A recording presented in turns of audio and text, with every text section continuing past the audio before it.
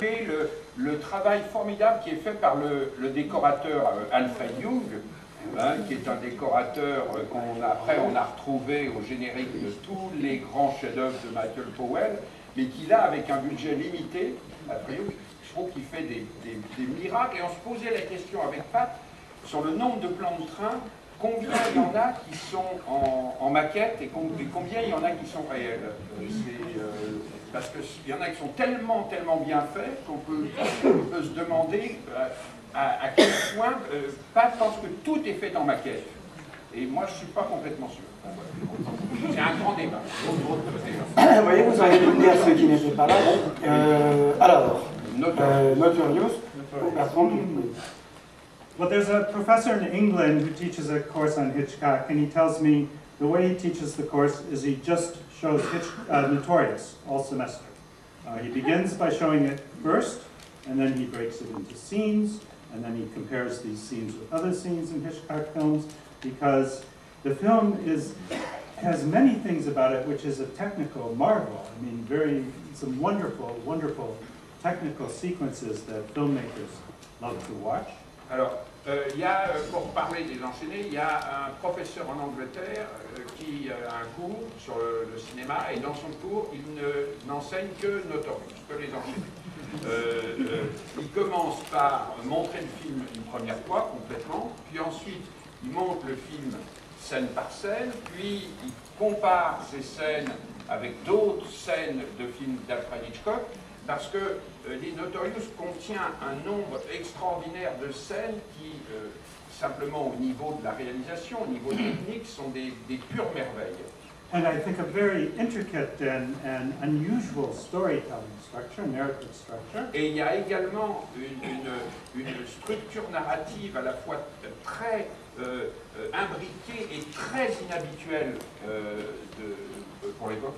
But as with the best Hitchcock films where he's doing some things technically that are quite marvelous, and Rope is a- a wonderful example because there are eight long takes and eight cuts, and you're told this and you begin to count them and soon you forget because you are plunged into the story.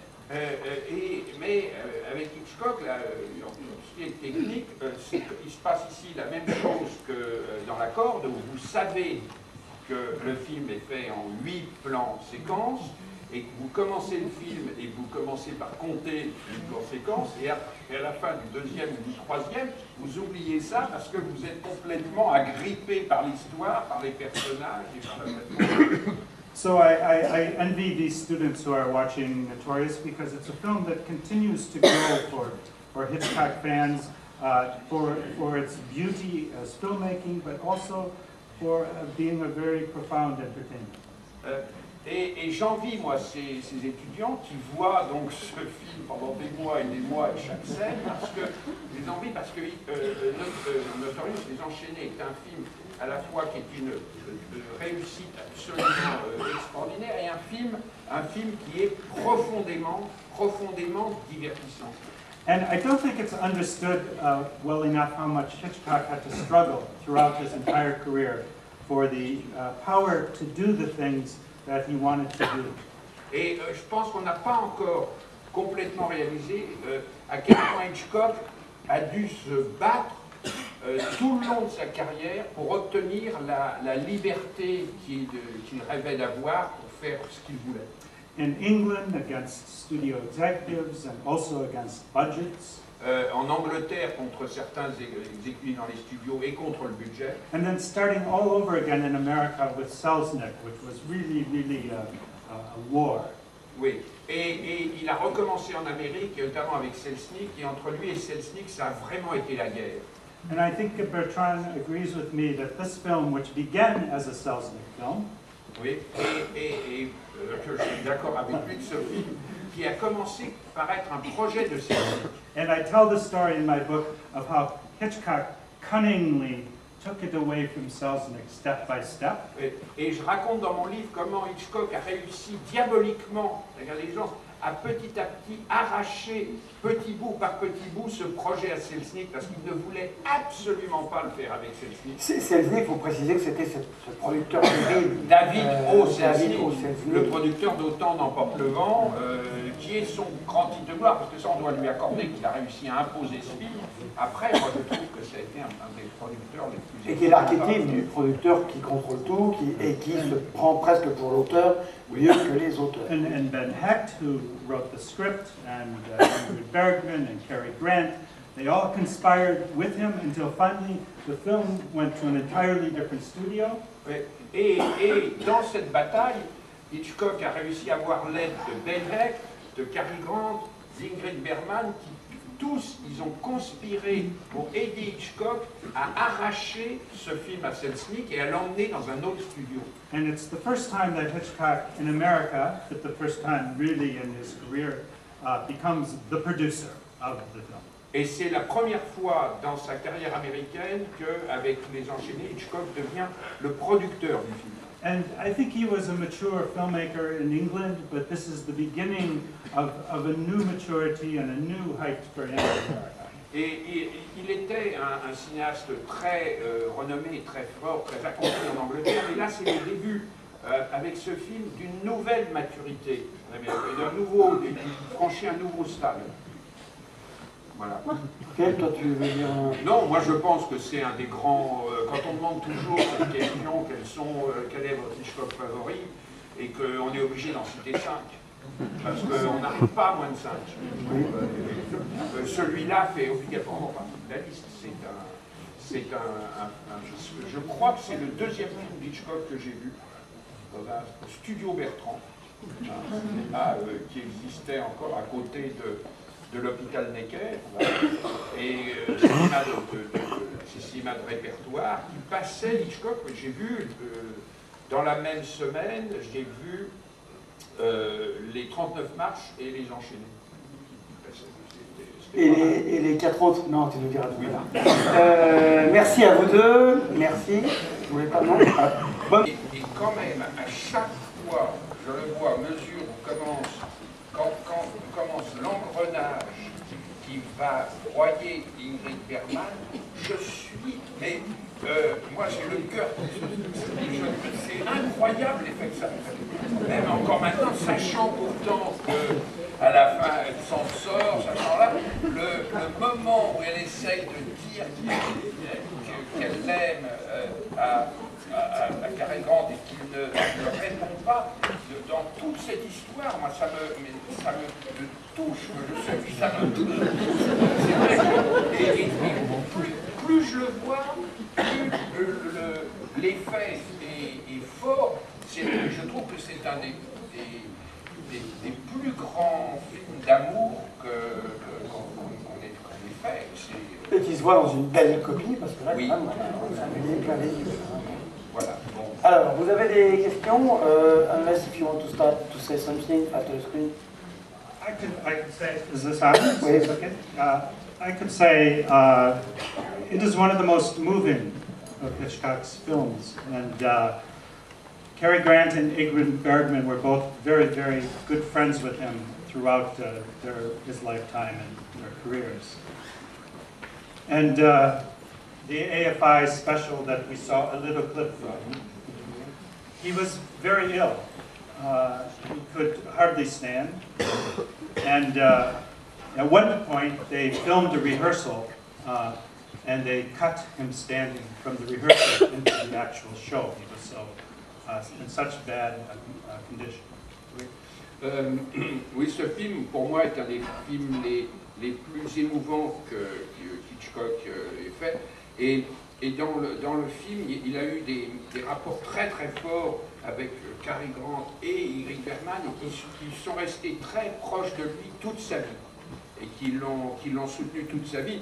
Et dans on a vu un petit extrait de, de, de, de l'American Film Institute, de, l'hommage de l'American Film Institute, et quand ça a été fait, il était extrêmement malade. Il était dans une condition physique épouvantable, et à un moment, ils ont coupé euh, un peu, ils ont, ils ont filmé la, la répétition, et ils ont, ils ont coupé le, le plan un moment où il, où il se lève, il arrivait à peine à se tenir. And uh, I tell this story in the book. Uh, Ingrid Bergman was one of the uh, guest speakers and one of the last guest speakers. Et, et je raconte dans le livre que Ingrid Bergman est une des dernières personnes à, à parler lors de cet hommage. And she visited him in his home, so she knew that um, he was ill. Elle, elle avait- elle était venue le voir dans, euh, chez lui et elle savait qu'il était malade. And she gives a very emotional, brief talk, at the end of which she pulls a, a key out and she says, This film that we made, that's so special. When we were done, Cary Grant gave this key to me, and I've kept it all these years. And now I give it to you, dear Hitch. Euh, euh, et à la fin, dit euh, qu'elle elle, elle, elle se lève, elle fait un, discours plein de, très court, mais plein de compassion et d'émotion, et elle montre une clé. Et elle dit, cette clé provient du film que nous avons fait ensemble, euh, Cary Grant l'a gardée tout le temps, et il vient me la donner, et elle le, elle le donne à, à- Hitchcock. Euh, alors, qui a des questions? Talking about how uh, the titles, and then when translated into French, also are sometimes inscrutable. But uh, it's her reputation. She's notorious. She's- notre- elle, elle est extraordinairement célèbre pour être la femme d'un des, des espions nazis. The story began with a uh, serialized uh, magazine article, a story that uh, David O. Selznick owned about a notorious lady, a conscripted, uh, from the 1920s, I think, the article, conscripted into service uh, and sleeps with the enemy. And that's all that Hitchcock took. That I, Oui. Et, euh, tout ça est venu d'une, euh, de Selznick qui avait acheté euh, une histoire dans un magazine à sensation, cette histoire qui était une femme qu'on oblige dans les années 20 à, coucher avec l'ennemi. Et il a retenu que l'idée et il a acheté tout le reste de, de- de ce qu'avait acheté Selznick. Then very quickly, uh, Hitchcock was very proud of being a commercial director, making money. I bet this was a very good title for publicity and advertising. Oui, et, et Hitchcock était, était très attentif, était très fier d'être un metteur en scène dont les films faisaient de l'argent, qui était commercial, et ça c'était un, un titre qui immédiatement attirait l'attention. Notorious, c'était très très court, et ça signifiait que ça peut aussi dire it can apply to the case. Euh, C'est un, titre qui peut s'appliquer aussi au cas de son père qui, qui est, qui est condamné à mort. Euh, tout ça, c'est c'est ce qui fait, disons, c'est le, le- le- tout ce qui fait le- la, la première page des journaux. Et moi, je, on, on parlait de, de transcription des films, titres français, titres anglais. Toute l'œuvre d'Hitchcock est assez marrante. Euh, euh, North by Northwest, on sait que c'est extrait de Shakespeare. La mort aux trousses dit quelque chose. Moi, je suis très fier d'avoir trouvé, parce que je n'avais jamais lu, que I Confess, le film avec Montecrist, est traduit par La loi du silence. Ce qui est l'opposé. C'est le contraire. C'est Je- côté, je- je parle veux de tête, confesser, oui. je parle, là le truc, on doit se taire. Ça, on a trouvé, on a trouvé ça, donc j'ai pas trouvé. Et, euh, et, et- et voilà. Bon, Deuxième question Euh, c'est au niveau des, euh, des effets spéciaux, pour revenir un petit peu dans le film d'avant, j'avais la, le, le, le travelling avec la maquette, tout ça extrêmement fait, ben, il y a des petits bonhommes. Et c'est vrai que dans, dans, dans ce film-là aussi, y a- il y a des effets spéciaux, des fois, qui, on se demande pourquoi il est au début, il y a l'ouverture euh, vers le, le tribunal. Il pourrait filmer la porte s'ouvrir normalement. Or, on, on sent que c'est. J'ai vu que c'est. C'est peut-être moi je délire. hein. Mais c'est une incrustation. Même chose sur le. Quand ils sont à Rio et qu'ils regardent sur, le, sont sur la terrasse, on voit que c'est une incrustation. Pas ouais. une incruste, Enfin ouais, enfin, à l'époque c'était des incrustes. Pas pas Les portes là. Ah, bah la porte, la porte, il y a une profondeur de champ, puisque Ingrid Bergman en vient. Non, mais non, c'est quand c'est quand c'est sa vision subjective à elle. Quand, quand, quand la porte s'ouvre, en même temps, enfin, ce que j'ai cru voir sur les côtés, ça bouge un petit peu parce que on, dirait qu'il y a un effet Bah, spécial. La, question, c'est est-ce que parfois il n'en faisait pas alors qu'il n'était pas obligé d'en faire? exactement. Non, non. Non, No, why was he, why, why, was he doing some special effect, even if it was not I- I'm not sure. I mean, he does it in Frenzy too, and in other other films where he just opens the door a bit and you hear what's going on in the court. Saves a lot of money, I think, and a lot of exposition. oui. Euh, C'est pas ça, c'est- oui. C'est vraiment quand les deux portes s'ouvrent. Oui, Voilà. Ah, c'est quand les deux portes s'ouvrent, c'est pas le premier plan. Non, c'est quand on voit quand les deux, on voit le tribunal, les deux portes s'ouvrent et on voit, euh, ils parlent, oui, vous allez être accusé, machin, vous allez tout là. Et les deux portes, normalement, c'est vrai qu'on pourrait ouvrir les portes euh, de manière mécanique et le filmer comme ça. Et moi, j'ai cru voir, mais je délire peut-être complètement, un effet spécial là-dessus. Moi, alors ça, ça- celle-là m'avait pas frappé. Le Brésil, c'est évidemment entièrement en, en- en- en transparence, c'est filmé, c'est une chose auquel il tenait. Hein? Oui, euh, tout, back projection.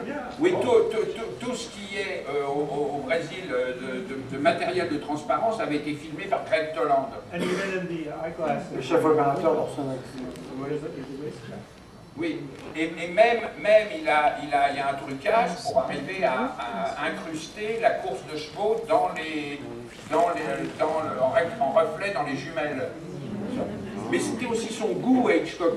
Euh, euh, il, avait, un- il, avait, euh, il voulait tellement aussi contrôler le- le- son rapport avec les acteurs qu'il pensait, c'est ce qu'il avait dit en tout cas dans sa conférence de Cannes euh, pour, les, pour, pour les oiseaux, euh, qu'il fallait mieux être en studio avec un acteur et une actrice pour pouvoir bien les photographier et obtenir ce qu'on veut, contrôler le maquillage, euh, et qu'en extérieur on, on peut moins.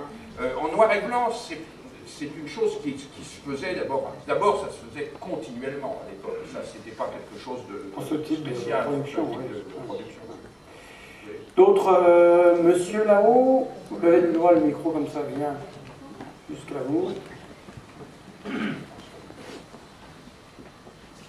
Bonsoir. Euh, à chaque fois que je vois les enchaîner, euh, les scènes dans le vestibule chez Claude Rains, euh, où on voit du carrelage noir et blanc, je pas m'empêcher de penser à la règle du jeu de Renoir. D'où ma première question, quelle est l'influence de Renoir chez Hitchcock? Et ma deuxième question, euh, quelle, est la signification, quelle est la signification des apparitions d'Hitchcock dans ces différents films? Alors, On avait dit un débat court. Euh, la, la- la première question, je crois qu'on ne saura jamais. Euh, what is the influence of Il y a des années, tu avais évoqué, et, et ça m'avait frappé, et c'est vrai, 呃呃呃